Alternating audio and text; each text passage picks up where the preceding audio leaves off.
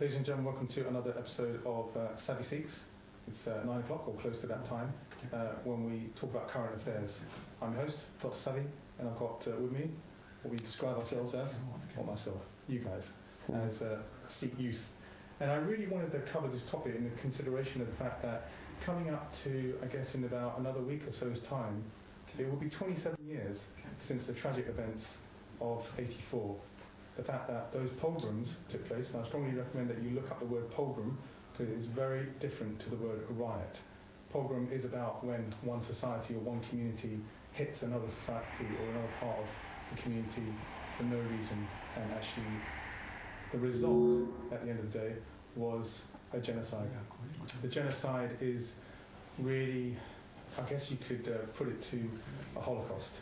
And you know, after 27 years, and then two years ago there was a 25th anniversary march uh, all the way in central London, and every summer in June uh, I go on that march uh, in a hope uh, for justice.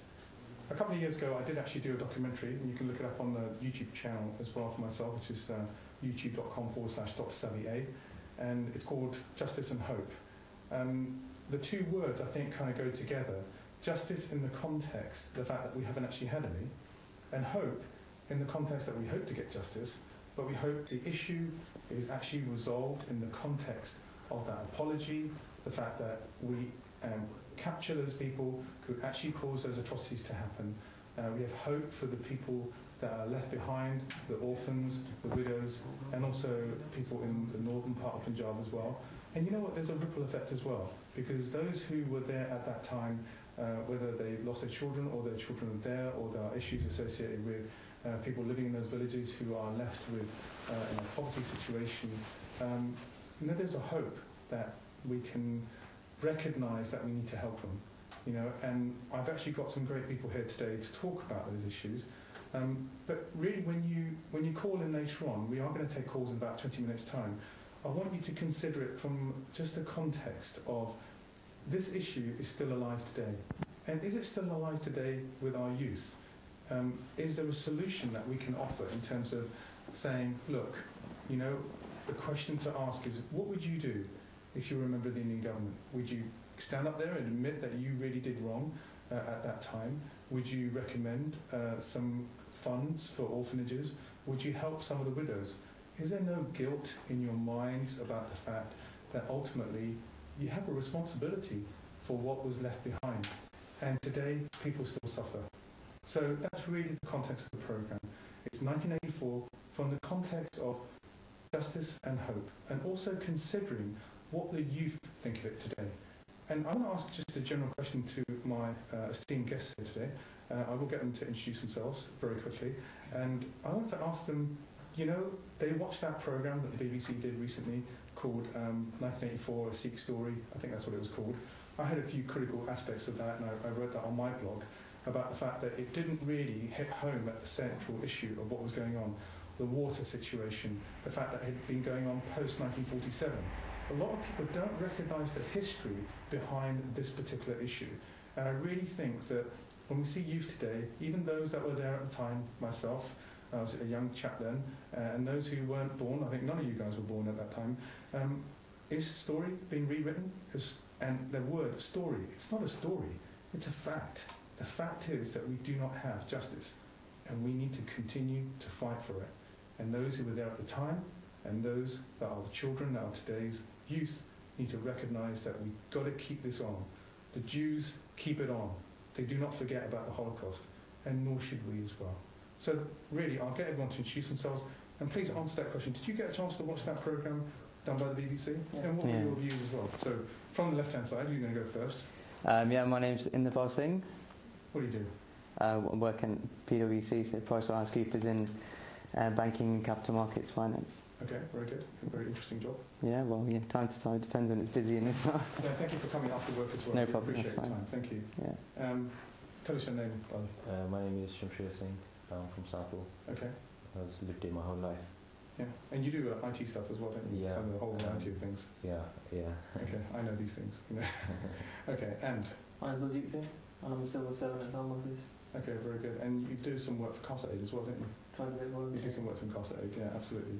Um, so yeah, answer to a question. If you guys have got a view, do you watch that program? What do you think of that program? Then the BBC. Um, yeah, I mean, I, I definitely, yeah, I did watch it, and to be honest, before that, I had I had a knowledge about 1984, not kind of in depth, like you know, the political movement behind it, not so much about Bhindranwale. I knew obviously about the attack. You know, you go to the Golden Temple as a kid and you see the pictures and stuff, and you start asking your mum and dad, "Oh, if you were yesterday, you know what happened at the time." And it's only when you kind of get older that you start to realise, well, you know, there was actually a lot of big, big story behind it. It doesn't just happen in 1984. There's you know, 78 was it within the Bengali movement, and before that, and probably since the partition of India, really. So yeah, um, I think in a way it's good that the program happened, so that even we can be critical about it and say it didn't really, you know, look at every single aspect. But for the majority of people there, they learnt something from the program. So especially the bit, you know, when you saw the um, the widows in Delhi. Anyone who watched that definitely would have got emotional kind of watching that. You know, think, you know, how can this kind of happen? Was it 26 years? I think Maybe. in that particular program they had a, a girl who was being interviewed and uh, she, uh, a lady, I should say, was being interviewed and I think she was under a bit of pressure as well, wasn't she? From somebody. Yeah, who then she broke down in tears and stuff. Yeah, and I think there was a situation where a particular politician had been named um, Mm. was causing some kind of, um, I guess, behind the scenes uh, trouble for her as well about not appearing as a witness. Mm. Um, and that, that's, even after 27 years, they know they did wrong and they know they're trying to get to them, you know, which I Mm. think is quite interesting, you know. Um, so what about, um, Shamsher, think, what do you think of that programme? Um, I thought, you know, it didn't really do justice to the subject at all. Um, I thought the presenter was inappropriate. I thought the whole the way the program was done was inappropriate. Um, it's just such a, um, a deep issue, um, and it's rooted in so much history. Um, Do you think it brought out pain? um, I think yeah, it did bring out the pain, an element of the pain, but I mean you can't even begin to describe the levels of atrocities that were suffered upon the Sikh community um, by those that are in power. And that one fact I don't think was made clear enough by that program. It wasn't made clear that the people that were perpetrating, committing these acts are the same people that are in power in the Indian state Mm. today, this day, this day and age. While they were there, you know, laughing around and going about in India, they didn't highlight that fact that it's the same people, it's the same politicians. It's in fact the people that were holding lower positions at that time are holding higher positions now. They've they've um, tightened their grip on power and authority. They haven't loosened it. Um, Sikhs can never get justice in an environment like that, especially if a mainstream organisation like the BBC isn't willing to really show the reality of the issue, and they never will because this country has billions of dollars worth of trade relations, you know, with India. And Do you, think, do you not think it's an irony about that at the time it was the Congress government that was in charge and now the Congress government is in charge and now you've got a Sikh uh, gentleman who's leading it? Um, I don't know. Um, I don't know whether you can call uh, him a Sikh. I don't know. Um, I think it's it's a it's a it's a very deep issue. I mean, on one hand, you've had people that gave up their whole their lives, their family lives, their children have suffered. You know, their wives, their daughters have suffered. Um, you know, it's not just the people that have lost their lives fighting against atrocities. It's the, the absolute barbarity um, on, that their families are faced with, and by the police forces and by the security forces. Um, I don't think in for a second it really showed the depth and the reality of the issue and how the the struggle it wasn't just you know Sikhs picking up arms and fighting against the government because we didn't like them hmm. because they were Hindu and we were Sikh. It the very fabric of our beings as Sikhs our history our ideas who we are what we represent our, our religious views if you want to call Sikhi a religion our way of life what we stand for is ingrained in our culture it's hmm. ingrained you know in that um, revolution and you know, the terrible thing is that, you know, in the Sikhs throughout the ages, throughout the world, we've actually defended other religions. We've actually given our lives up for the freedom of others to practice their religion, Mhm. you know. Not just Uh, in not just in India, in the world wars as well, the First and Second World War. We we Sikhs have fought in every theatre of war. You know, um, we all know about Saragarhi. Even 21 Sikhs stood against more than 10,000 Afghans.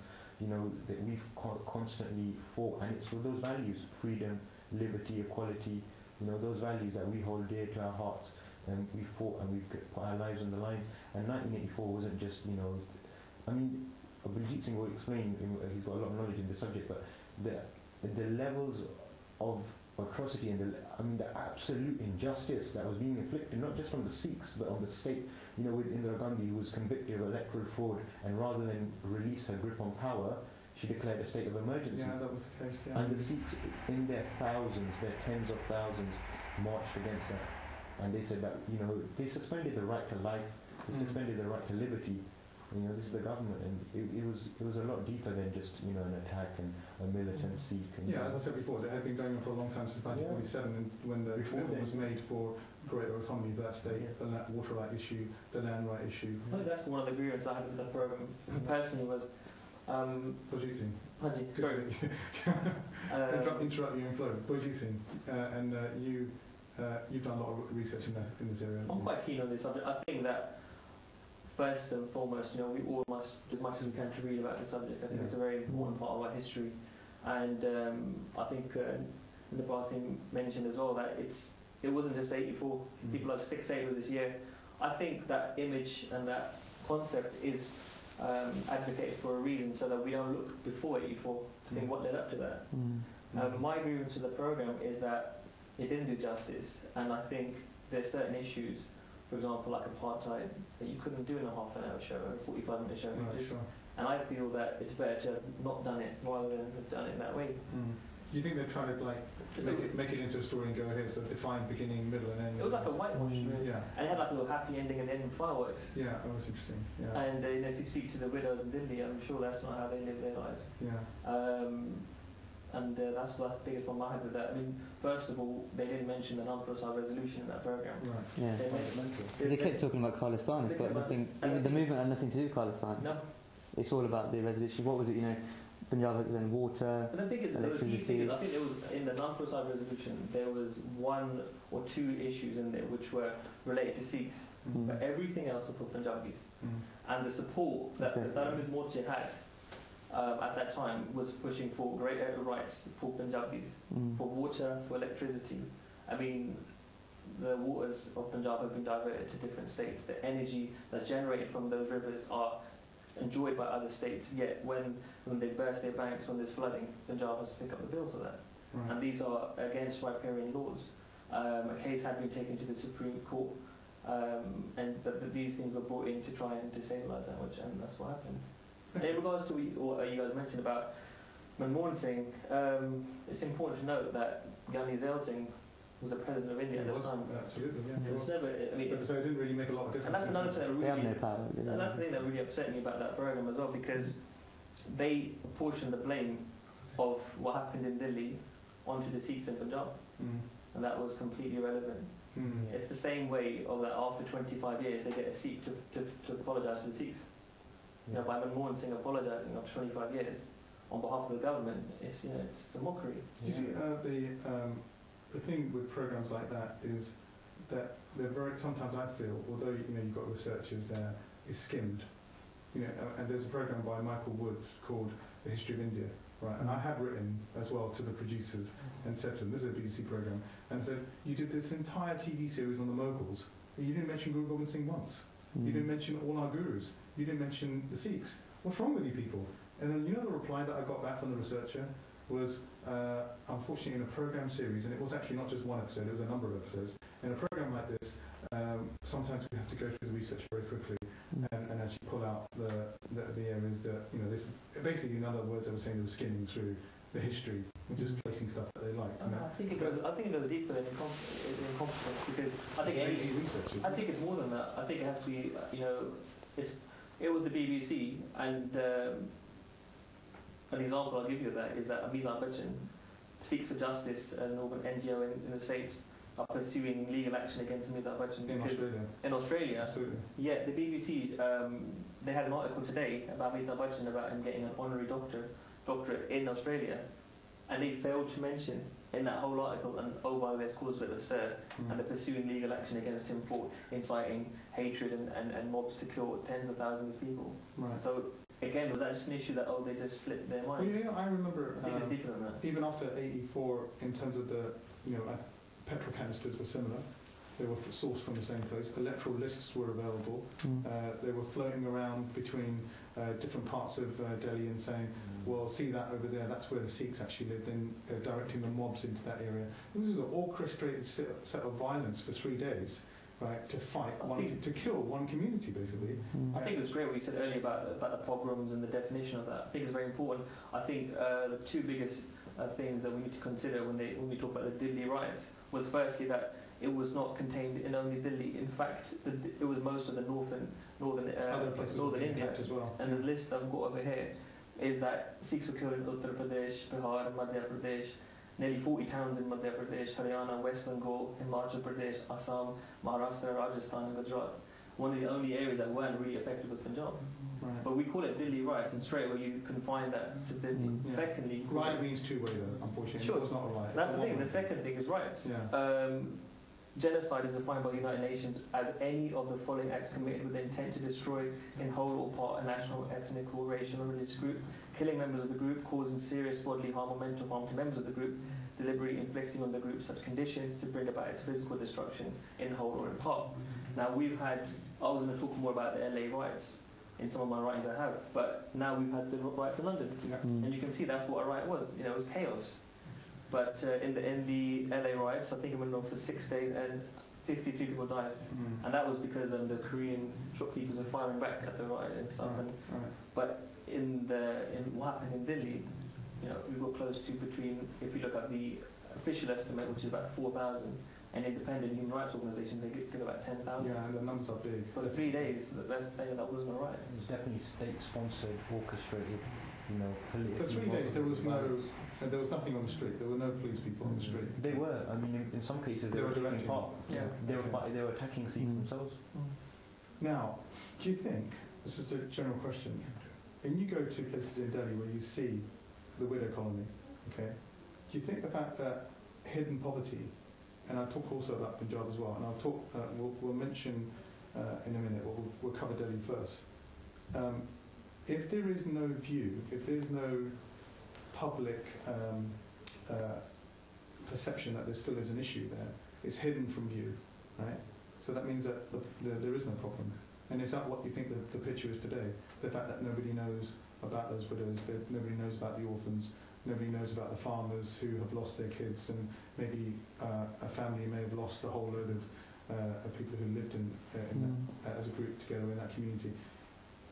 What do we do? I mean, you're the youth. You know, what, what, how do we publicise this when we don't even have media to talk about it? You know, is it convenient that it's out of view? I don't think it's. I think maybe that does uh, increase the problem, but I don't think it's simply because of poverty.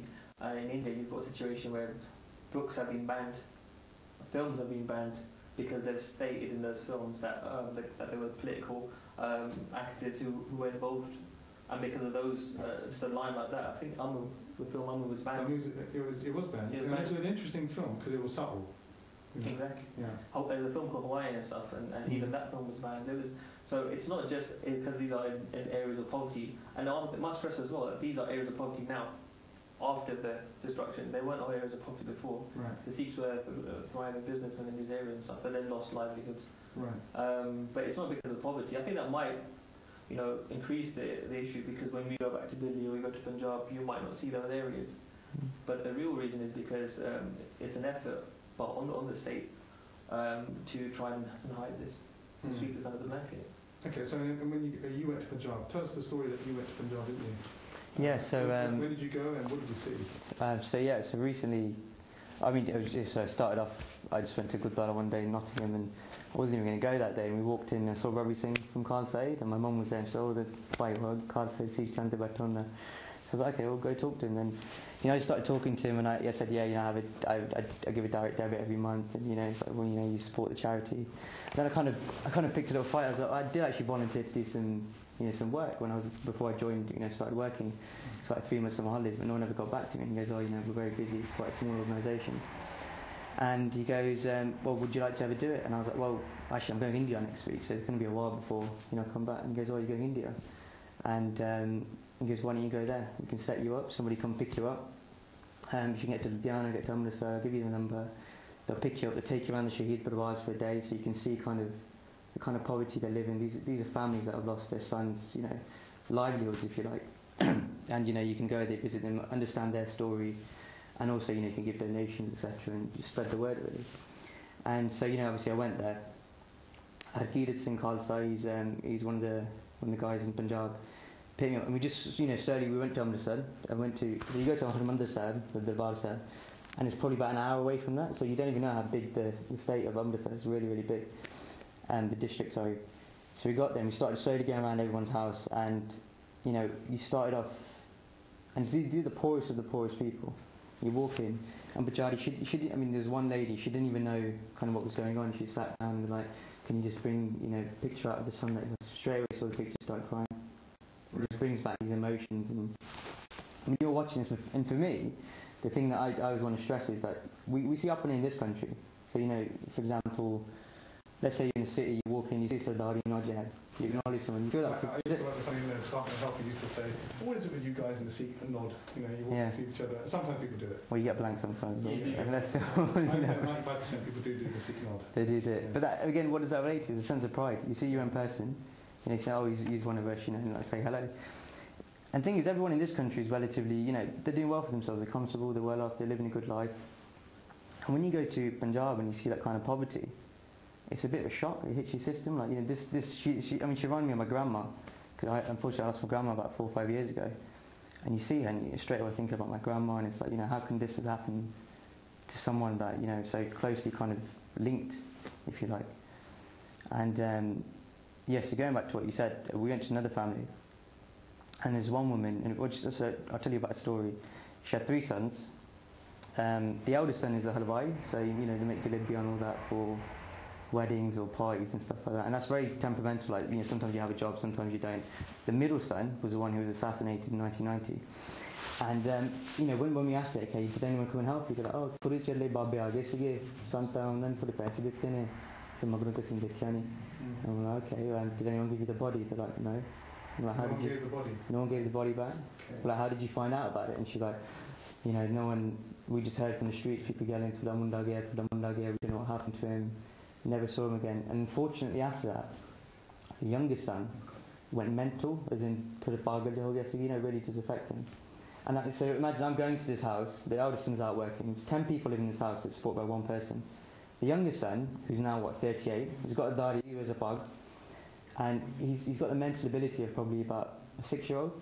So we're trying to interview this lady, and he's behind her pulling faces and goes, Imiri Maya, and all this stuff. And she actually slaps him across the face. Okay. As in, just to, I mean, to see a grown man, that happen. So she hasn't just lost one son, she's lost two sons. And what's happened. Mm. And you know, a, a family, and things like the youngest son's married and he's got children, so what type of future is this kid to have? Absolute poverty. I'm, talking about the bricks are falling off the walls, gande kapre. They had one mudge, which, you know, I mean, nowadays that mudge, mudge dies. The cost of a mudge apparently is about 30, 40,000 rupees, which is a lot of money for people over there. Right. So, yeah. So what you don't see, you don't know about. I mean, what? I had no idea. Yeah. I mean, You people talk about know 84. I went to the march in 1984, went there, shouted some jaikara, you know, talked about Khalistan, and you don't really know what's behind that. You don't really see the poverty. And I mean, it was look, it didn't take a lot of effort for me. And I mean, I went because you know to do some wedding shopping, and literally all I had to do was spare a day.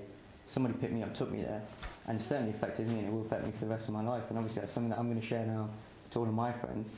If that affects another hundred people, and it's, it's a ripple effect. Let's talk about that ripple effect, right? So the ripple effect affected the people that were there at the time, Mhm. meaning the people that suffered, the people that saw it from a distance, like us living in London or living in Canada or living wherever in the United States, and we were limited in what we could do because it was a news blackout at the time. Mhm. And then on top of that, when we look at the, fu- the future generation, you are the future generation in the context you were not born at that period, Mhm. right? So 27 years have gone by. You mentioned, uh, I interrupted you when earlier on I was saying, "Well, gee, how do you get all this information? You read loads of books, haven't you? So, but do you think the books that are there today are truly reflective of what actually happened, or is there something being rewritten there? You have to be very careful because um, some of the most um, popular books on the subject, or the best-selling books on the subject, are written by some of the people who actually are responsible for the violence, like KPS Gill, notorious police officer. He's written a book, and his book is best-selling. And it's Isn't even there a book also available? I know I've seen a copy of it, which lists the individuals that were responsible and where they came from. There's a, there was a report um, by the People's Union for Civil Liberties, the Indian Human Rights Group, who went door to door after the, the genocide happened in Delhi, and they compiled a list, I think, over 200 people. Yeah, I've seen it. and that's the, they're, they're the ones who know, yeah. Okay. And to, to today, even though they have got Mm. testimonies and everything, fresh from the next day, um, none of those people, apart from two, have ever been punished. So you think, right, over 27 years of your lives, and not all of you are 27, some of you are younger than that, um, why do you think, in your opinion, the justice process is so slow. What is it? We found out what you found out about by reading, because you weren't there, and hearing stories, and actually, in your case, visiting, Mm. and you case, you've been and been in those places as well, whether you've done charity work or whatever. Mm. What, what is the, I mean, Shamsi, what, what do you think is your, what's your view? Why does it take I so think, long? um, I think You know, the- I mean, I know one- if you look the Jewish situation, did that take a long time? Well, they still remember it, they still make films about it, but, you know, For the Jewish people, it did take a long time as well. I think what the, the key, the point that we have to try and realise, and I'll stress it again and again, is the reason that this stuff is going to take long and it will take, it will take forever, is because the people that were responsible for these atrocities are still in power today. Um, and that's, that's the reality of the situation. so, so you're saying that maybe, that the politicians are above the law, or, or are the law? It's the, it's the, the machinery of the state in a way is against the Sikhs. In a way, it's an undeclared war on the Sikh nation, and that's been going on since partition.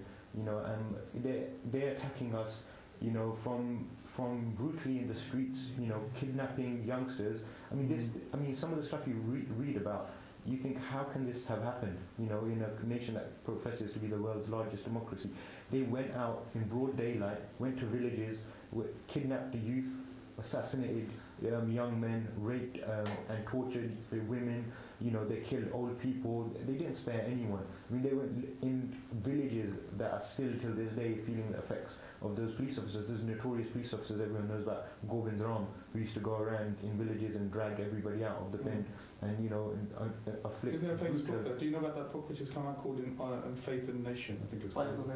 I think Yeah. the faith and Yeah, nations uh, yeah, and that's a, there's an article in there, isn't there? There- Yeah. There's a piece in there, I think it's on, I- saw it on Govind uh, operation, that one of his operations he uh, sponsored, um, that he led as a police officer, was Operation Shodhikaran, which was um, the rape of Sikh women, where he would go out with his police officers and rape Sikh women. Why is there such hatred against Why- the Sikh? What's the deal here, man? The deal is because when, when you're in power and it's for your, it, it, it's a simple thing. I, when you think about it, it's shockingly, you know, the reality is it's about money and it's about power. And that's it. It's always has been and it always will be since the beginning of time. It's about money and it's about power. The people that are in power have money. They don't want to get rid of that power. They don't want to relinquish that power. Mm. And the people like the Sikhs, whose very nature it is, whose religion, whose dharma it is, to fight against oppression and fight against injustice. And fight for other people, And fight fight, against the people. defenceless. Fight, yeah, fight for the defenseless. You know, it's, it's part of our religion. It's part of our way of life. We will always be a thorn side of those oppressors, like Indira Gandhi, who, when she was convicted of electoral fraud, um, declared a state of emergency to hold her power.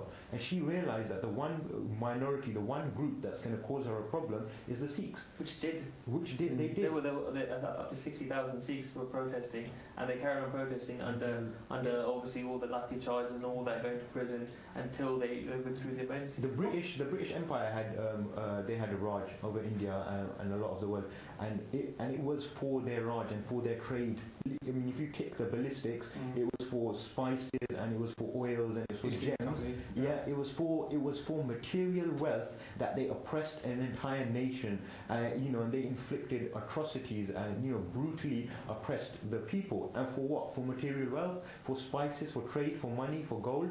You know, and that's the reality. The people in power now, the reason why the justice is going to be a long time in coming is because as soon as a Sikh gets to a stage where, you know, he could do something, they either buy him out or they character assassinate him or they just kill him simply. You know, there's so many ways to remove people these Okay, days. Okay, so what about in the world, in 1984, there wasn't any internet.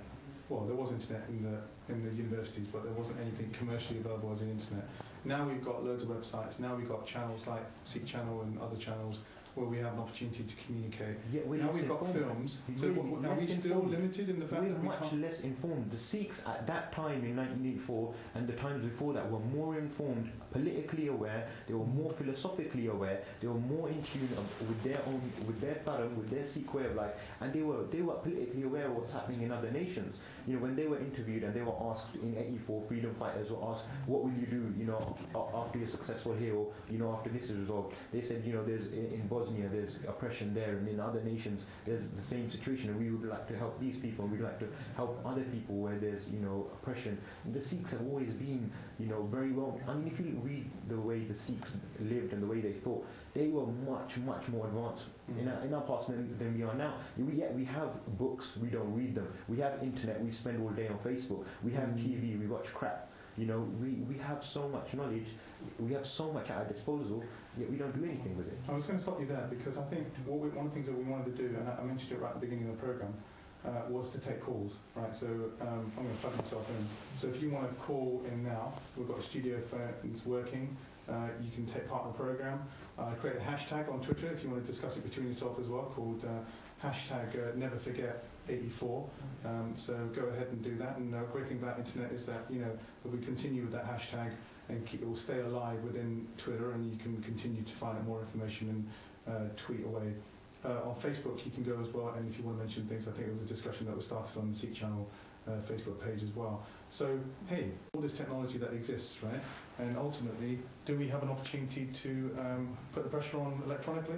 Write petitions, uh, write letters, do Mm. those things that can effectively. I don't think Uh, that any, any that stuff's not going to get you anywhere, really. I mean, if, you, if the reality of the situation is that uh, e-petitions and you know Facebook campaigns, yeah, yeah, will create awareness. You know, a few more people might get informed, but in reality, in changing the situation, in really changing the reality for Sikhs in India and in the rest of the world, it's going to happen on the ground. You need feet on the ground. You know, battles and wars aren't won. You know, like that.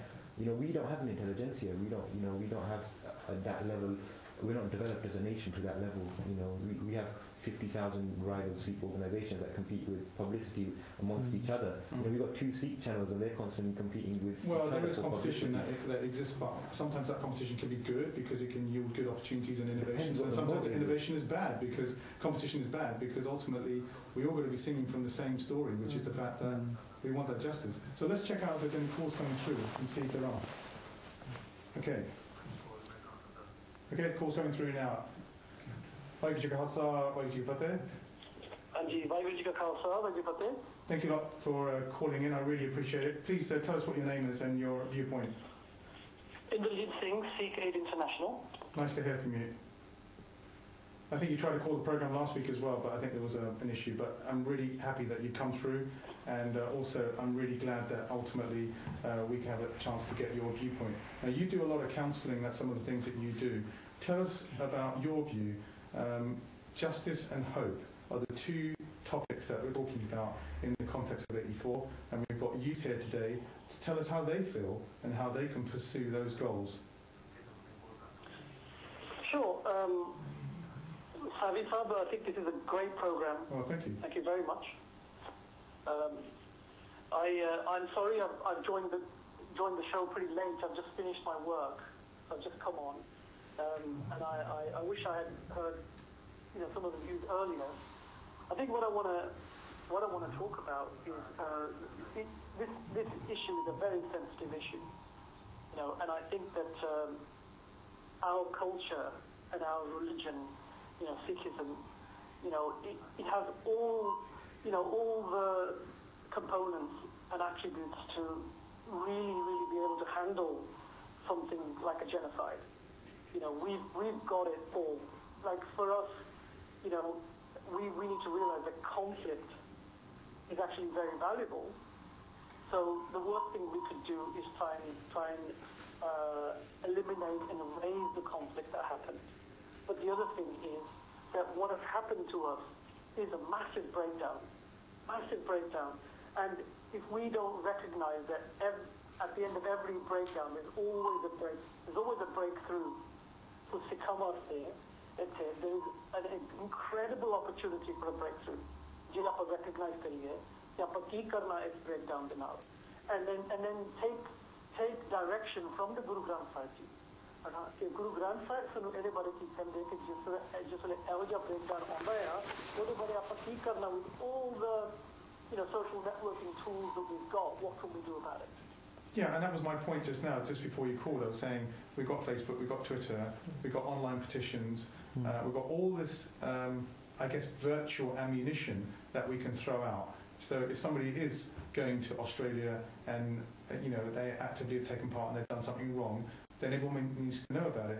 And if the, um, the, the I guess the energy of not only the youth but people that remember that this is such a terrible thing can get behind it and when they get an email to actually just click on and respond to the petition and just sign it and say, look, we feel strongly that this thing should not be forgotten about and we need to keep the pressure on, you know.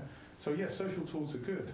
Um, and I, I know we spoke during the week as well. Actually, we, we had a chat about some uh, other things that we, we were, some other projects we were involved in. Um, there is, I don't think there's ever a position of closure or completeness for this because it has affected us so badly, doesn't it? Exactly. I, I, I think that uh, the people that have been hurt from this, you know, one bar the closure completion नहीं until they haven't, their story hasn't been heard. You know, it's, it's almost a case of asking them, you know, what would you, what would you, what do you need, uh, you know, as a result of having gone through this horrible suffering? You know, and that question hasn't been asked because the, the you know, they who were being victims, you know, of this atrocity. You know, and what we've got to do is come out, out of the framework of being victims, and I think what we've got to do is step into, you know, being called in the matter. Because I Kyogoyaya, and Asiyadavicho, how can we transcend it? How can we step into a new paradigm shift for Gusiks, Gusiks all around the world?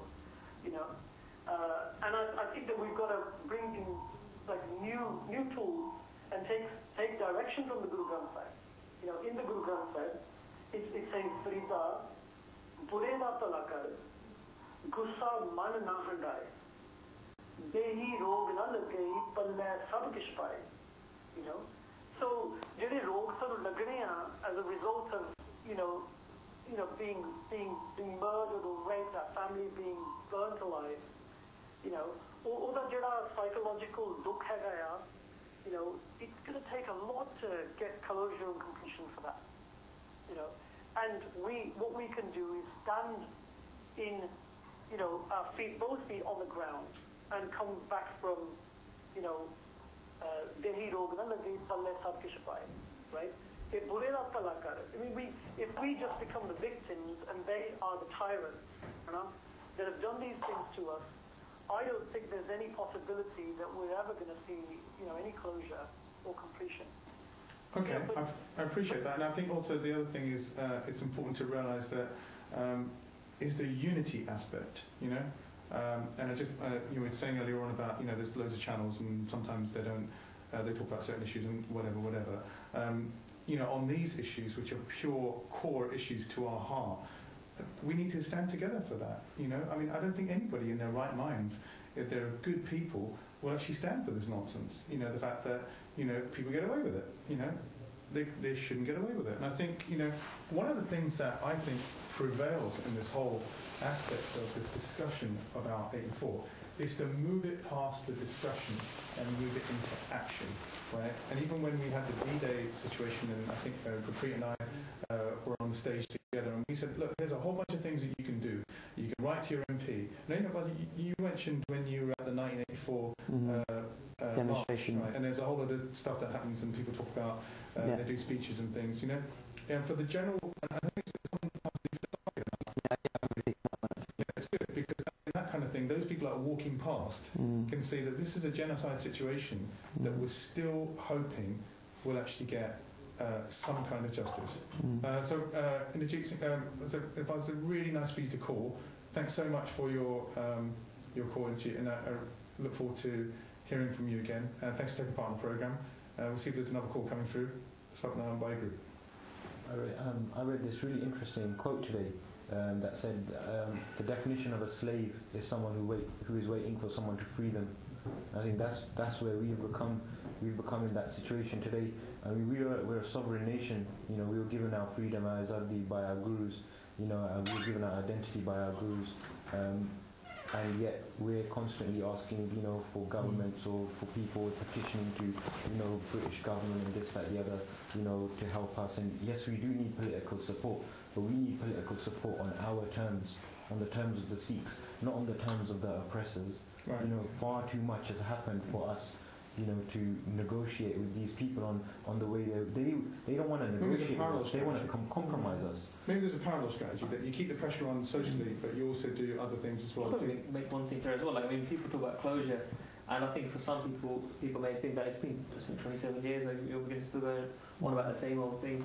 But I think with any wound, any historical event uh, as, as, as, as horrible and catastrophic as this, I think the first stage is recognition and Yeah. acceptance. Mm. And the thing is, for the victims, and w- I've, the Sikh Panth is a victim.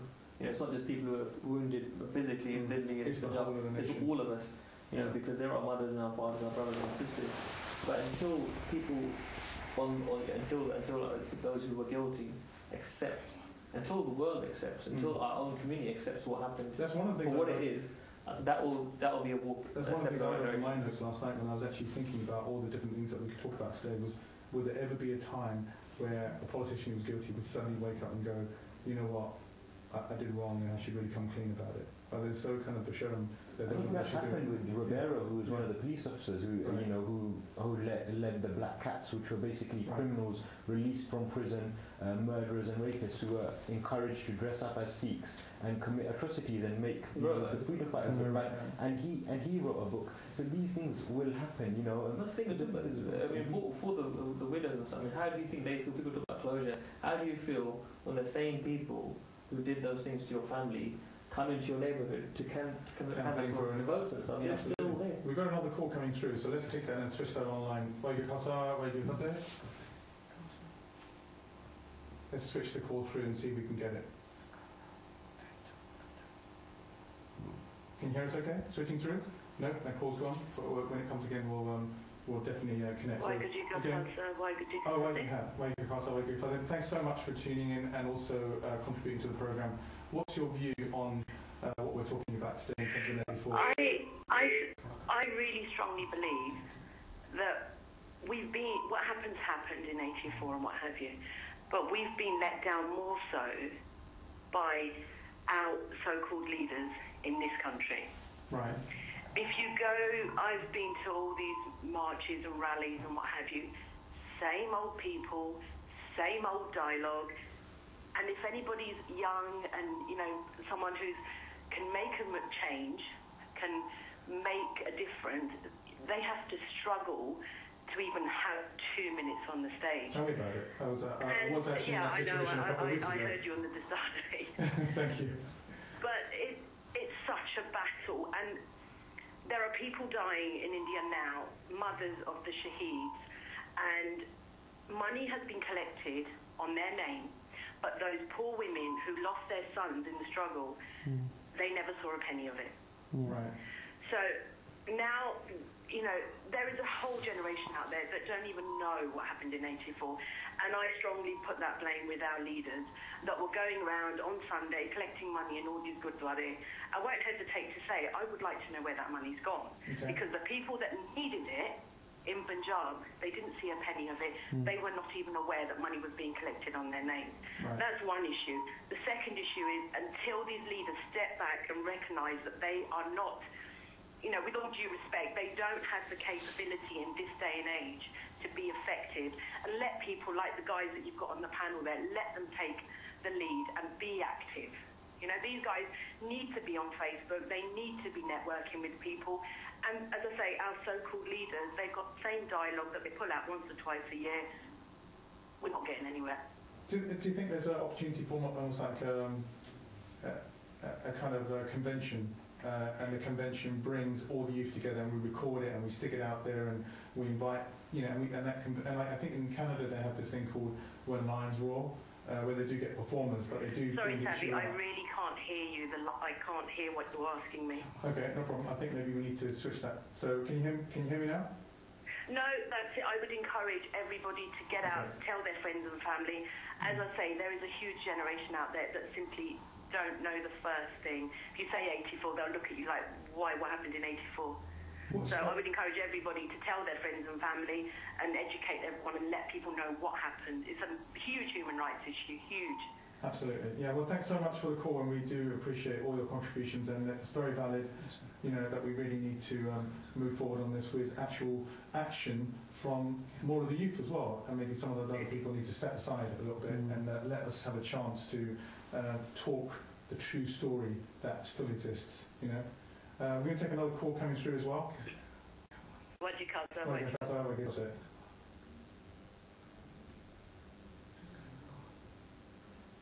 Okay, right, we haven't got that call. So let's uh, move back. Let's move back to the conversation as well. uh, while that call comes through again, and we will actually continue. What do you think of uh, Banji's uh, point? Definitely, Yeah. definitely, yeah.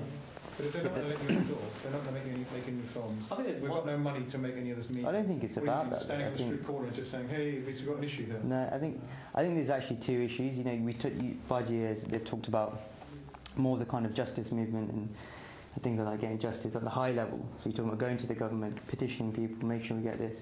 I think, to be honest, a lot of the youth, you talk to them about that, and because they don't even know about it in the high level, they kind of think, well, 1984 has happened, we don't know what goes behind it. There's two issues. There's right, there's that movement, and that's maybe for the more, you know, Barilla out there, the one who studied law, you know, in position of power, members of parliament, Right. or someone that has kind of ambition to do that, to go go that path. Then there's also those that can kind of just look at themselves and think, right, well, what can I do? And it's just going back to the work that I do with Khalsa Aid, is thinking, we talk about this poverty here and now. There's, you know, there's, there's surely stuff that people can do, whether that be fundraising, I mean, spreading the word. It's not just the You need people that you can trust, that are to do Trust. good And things with the money. I'm. I'm going to say, I'm, you know, Banji was saying on the phone, obviously they've collected money for, the, for all these good, all these good way collected money, but it hasn't, a penny hasn't seen, you know, the families haven't seen a penny of it. I personally went there, money out my own wallet, You had your money. had my own money, gave it and put it into their hands. I mean, it doesn't get any, from the work. you can't get any closer than that and knowing where your Spend money money's locally. gone. I think there's one thing about when it comes to the media, the internet, and all the technology we've got. I think one thing that is helping is that we can bypass these Mm. leaders. Yeah. You, know, you could find out about these things, initiatives, and You stuff. go there and find In terms of the youth, I think what they can do, one is educate themselves and Mm. educate ourselves as well. How, you know, Yeah, I think that's definitely a discussion point, definitely. But secondly, what why you do stuff, you know, I'm totally grateful for Right. because not oh, it's not just the monetary value. That's- Him going out there, you know, to a mother, to, you know, who's lost her son, to see another son from the to come to her. I know, it's nice. Yeah, because there's that so connection, isn't there? Yeah. Let's take another call, because I think there's one on hold at the moment, and cut that through. No? So, yeah, I mean, there's a very want to good call through, point. there is actually a line available, so uh, we strongly recommend you do that if you want to take part in the programme. We've got about five to ten minutes left, so it's still time for you to call through and give us your opinion about what you think we can do. Uh, what is there in terms of the power that the youth have today to move it on? The point that was made earlier on was the fact that get some of the other people to stand aside, they haven't had the chance to do too much. Mm. Or maybe they have done things, but we can't see it and they don't communicate it. There could be that point of view as well. Mm. Um, on the issue of sovereignty, you know, every Sikh is sovereign. We don't need leadership. You know, we're born leaders.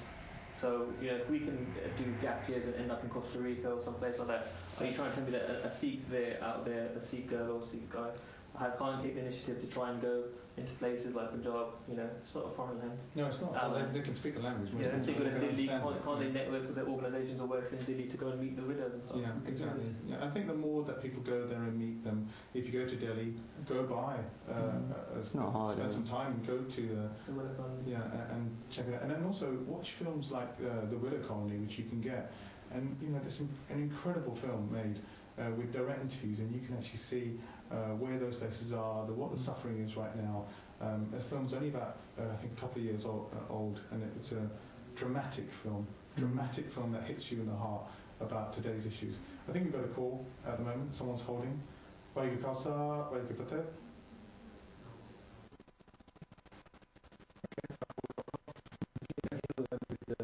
you were saying before earlier, uh, the hidden poverty, and you know, um, I don't really think it's hidden. Like you know, I think the violations that happened were so blatant.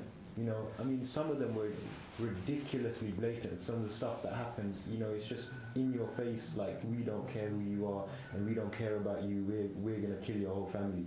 You know, and it, it's it's all out there. The history's out there. Excellent books have been written. People like um, Sardar H.S. Phoolka spent his whole life researching this you know, there's there's been a lot of work done already. You know, there's a, there are good organisations doing, continuing to do work, but we're the ones that are hiding from the truth. We're the ones that have got our eyes closed. And you know, I'm, I'm personally, I, I don't really believe in the power of social networking and media because it's never been used for what it was invented for. You know, now it's just become a tool of complacency. Really, you go on and go online and vent your and sit at home, and you know, and you go back into your bubble. We really need to get out there ourselves, you know, feet on the ground, go out there, look at what's happened, look at these villages, people wear the t-shirts, find out the villages that these people were from, where their families are living in abject poverty. I think one of your callers from CK was talking about it as well, that to hear their stories. I'll never forget um, Ravinder Singh telling about a story once. He called me quite late and said he just had a phone call from a Dagni Fodji. And he used to work at Ravinder Singh. He said, you know, I was at Diamond 4G2. And Ravinder Singh said, you know, okay, so where are you from and how can we contact you? And he goes, no, he goes, you're not asking me any questions. He goes, I'm not, you're not going to ask me any questions. You're just going to listen. And he goes, fine. And he goes, he told me the story about how, you know, how he's picked up and stuff, and he's put in jail, and how he how they tortured this teenager in the cell next to him all night, and they could hear him screaming. And he goes, and it was a very, very long, sad story. And um, Ravinder Singh said, you know, I'm putting, say it's live TV, but you know, he said that I, I've never broken down as like I did that day. And the guy just said, that's what I want. I just want. To, I've lived all my life, and not been able to tell it anyone There's that. so many stories that people don't know about. Actually, there's a Mm. really, I don't know if you had a chance to read this book by uh, Simranjit Kaur called Saffron Salvation. Right? It's an incredible book, and it's written in, uh, it's a story, it's a novel, it's based on true facts, and it's based on two brothers, one lives in Punjab and one lives in Delhi. And uh, this girl goes over from the UK and she gets to know them as friends. I think it's kind of a connection there.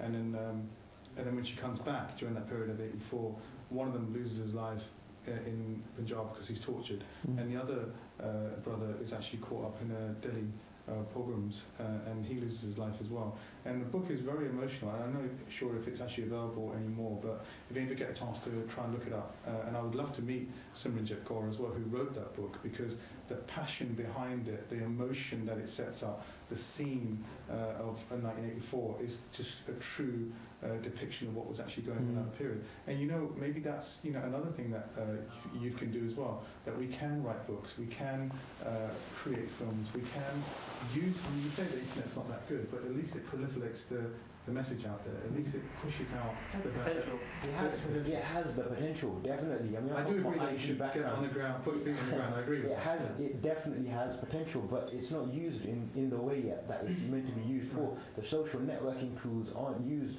for grassroots movements and aren't They're for used for fun. ga- yeah, they're there for fun. Mm-hmm. They're there for you know checking out people's profiles and you know what's the little person doing over here. Mm-hmm. It's, it's all rubbish really at the moment. There, there's such powerful, powerful tools, and marketing has cheapened everything. You know that's what it comes down to. Marketing and consumerism and commercialism has cheapened the value of human life, let alone you know what an internet-based tool can do. Right. You know it's it's deep. We need to get out there. And, Definitely with the anniversary of the, of, of the genocide in Delhi, I think it's a soul searching time as well. I think some of you might have seen that video and that's been shown us on the news about the, the, the girl in China Mm. and she was run over twice yeah.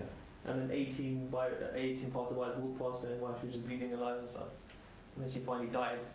And it's just one of those things that people are saying that what, what's going on? Why are we turning like this and just being Why are people so not want to get involved? Mm. That's, that's it's, the it's, issue. it's, the, it's the whole commercialism, the consumerism. It's just we're more interested in what the clothes we're wearing and the cars we're driving and how we're living to rather to care than about other people and what they've gone through. It's boring. That's the Mm. reality of it. Mm. It's become boring now, and it's become why I use, you know, c- talking about the same stuff again and again. You know, I think it's an excuse when people say that, oh, like, um, that we should forget these things and move on. I think it's an excuse to not do anything. yeah, An excuse not to do anything.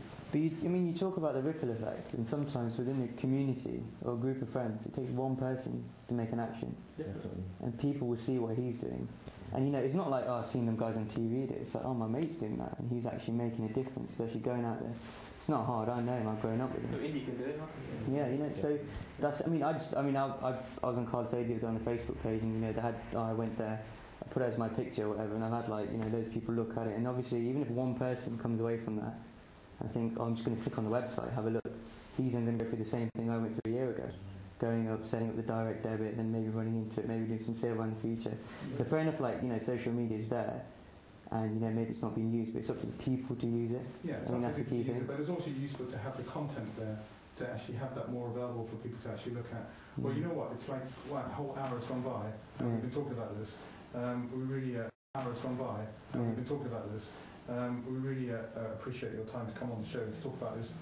It's a sensitive issue from a number of perspectives. It's sensitive because you mention it and people go, oh, well, you know, talk about 84 again. The Mhm. thing is, though, we're going to talk about it. And we'll talk about it even when, Mm. and I hope when, not if, when somebody apologises for it and actually tries to put some action in place to Mm. try and manage uh, the situation and the people that are suffering. But But I take action about it as well. I think that's the key thing. Yeah. Don't just talk about it. I Absolutely. think it Take might action. happens every single day for those people who are Yeah. still Yeah. Yeah. suffering from it. That's that's a very good point. India still got the death penalty. They should hang some of these people. Yeah. You know that were responsible Well, for we have the evidence, we have the information, we have, and if you All go out there to look are for it and put it in front of the people, Mm. why can there not be We need actual to, justice? everyone needs to really read about Jaswant Singh Khalra, Mm. what he went through. He, as an investigative person, tried to look up the atrocities, and the government said to him, the police said to him that we're going to kill you if you don't stop. And they did. A conference, it was it's, they killed it's him. Recorded, I think they said, jithe sare jitna one going to make a difference. Yeah. Another a threat to him that you really think if you, and that's what happened. He didn't stop and he was picked up and, and then. And The thing is, they can they can target that. That's always they're, they're the terrorists because they what they want to do is terrorize the greater population of the Sikhs into inaction. They want to brutalize us so badly by torturing a family and you know torturing a female and a male in such a horrific way that they want other you know 50 other people to turn their backs and say, you know, we don't want none of that. Well, you know what? They're the real terrorists, and we got to stand up for our rights and our you know and really you know we really got to do something and change change the reality for the people that are living 84 like Faji said every day Mm. you know it's not going to change with That words reminds me of, I think I mentioned this before, about probably one of the most famous speeches in history is uh, the one that Muhammad Ali, the famous boxer, did when he went to Oxford and he said uh, two words, me, we, right? So although it affects me in the context I'm a Sikh, we in the context that we need to, you know, do something about it together. And it's not up to the youth necessarily, although they keep that issue alive. Uh, it's also up to the people that were there at the time to keep talking about it, to keep using the social networks, to keep signing the petitions, to keep going on the marches, to keep putting the pressure on in terms of talking about the fact that we're not going to forget about it. And we're not going to forget about it because just, justice in any society is important. You know, one of the things that I'm really kind of refreshed with is the fact that, you know, these guys were not even born then. They've done and spent time, you know, researching, trying to understand the issue, trying to really see what they can do. We have in Nepal who's actually gone there and actually visited families. We've had these guys here, you know, uh, Singh, and we've also had Baljeet Singh. They've researched, they've actually done some charity projects as well. So they've done something. They've gone out of their way. They've tried to get some money together, go over there, give it to people, and put it into their hands so that it can make a difference in their lives. And you know, ultimately, I think all of that 84 situation will always affect our lives, and we really need to get uh, that hope that there will be justice, and hope that ultimately uh, we as a society wake up to some of the points that you made. It is not about materialism. It's not about you know the fastest car that you drive or the flashiest you know tie that you wear or whatever. It is about uh, the importance of living together as a society and fighting for freedom, fighting for injustice.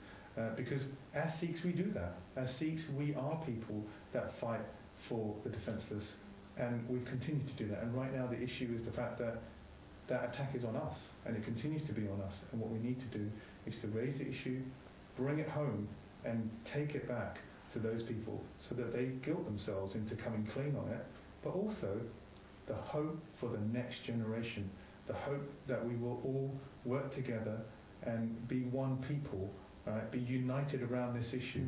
That's the key, to be united, to fight for freedom, to continue to fight for justice in a hope that we will get all of that at the end of the day. Waheguru Ji Ka Khalsa, That's uh, Vaheguru Ji Ki Fateh. Fateh.